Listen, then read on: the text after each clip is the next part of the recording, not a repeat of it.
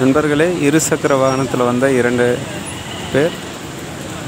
ஒரு டெம்போவில் மோதி மிகப்பெரிய அடிபட்டு ஆட்டோவில் தூக்கிட்டு போயிருக்காங்க.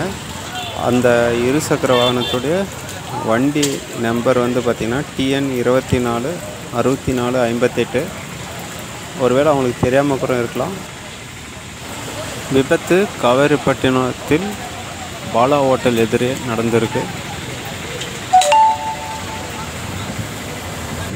ஒருவேளை அவங்களுக்கு தெரியாமல் இருந்தால் தெரியப்படுத்தும்படி கேட்டுக்கொள்கிறேன்